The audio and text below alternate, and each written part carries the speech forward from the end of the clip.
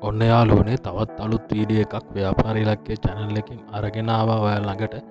අද අපි කතා කරන්නේ ලෝකයේ ඉන්න බිරියනපතියන් සියල්ලම තමන්ගේ දියුණීම සඳහා භාවිත කළ රහස් කීපයක් වාට කියලා දෙන්න. ඉතින් තාමත් මගේ ව්‍යාපාර ඉලක්කේ චැනල් එක සබස්ක්‍රයිබ් කරලා නැත්නම් සබස්ක්‍රයිබ් කරලා බෙල්ලයිකන් එක කලික් කරලා තියාගන්න ව්‍යාපාර ගැන දිගටම තොරතුරු දැනගන්න.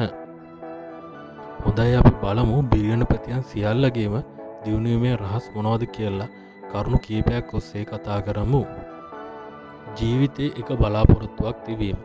ඔවන් සියල්ටම වාගේ තමන්ගේ ජීවිතේ එක අරමුණක් නැත්නම් එක සිහිනයක් තිබිලා තියෙනවා.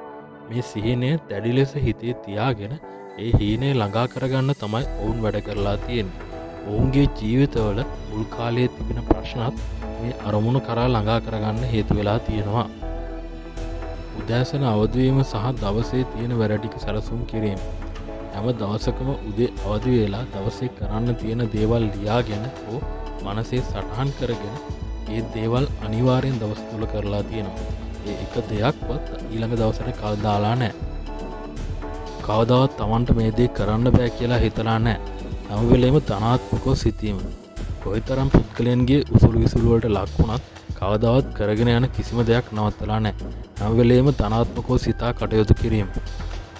ලෝකයේ කවුරුත් දැනට කරලා නැති ඒ වගේම අනාගතයති වැදගත්වේ කියා සිතන ව්‍යාපාර කටයුතු කිරීම.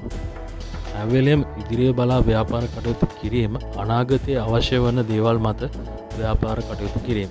උදාහරණයක් කිව්වොත් ජැක්මා අලි බාබායක පටන් ගැනීම සහ ඒ කාලේ මේ කාඩත් වැදගත්තුන්න ඒවට අද ඔන්ලයින් බාණ්ඩ ගෙන්වා ගැනීම මිනිසුන්ට කොච්චර වැදගත්ද කොච්චර පාවිච්චි කරනවා තවත් උදාහරණයක් කිව්වොත් එලන් මස්ක් විසින් ආරම්භ කලා හයිබ්‍රිඩ් වාහන නිෂ්පාදනය සහ විද්‍යුත් වාහන නිෂ්පාදන ඒ වෙනකොට මේ වාහන කවුරුත් මිල්ලදී ගන්න පෙළඹුන්න ඒත් අදවනට හයිබ්‍රිඩ් වාහන සහ විද්‍යුත් වාහන පමණයි අලයිවන්නේ සියලුම් වාහන නිෂ්පාදන ආයතන මෙම බාණ්ඩ පමණයි නිෂ්පාදනය කරන්නේ.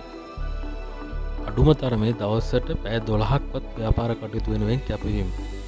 හැම දවසකම අඩුම තරමේ පැත් දොළහක්වත් මොවුන් ඔවුන්ගේ සිහිනෑ ව්‍යාපාර වෙනුවෙන් කැපෙලා වැඩ කරලා තියෙනවා.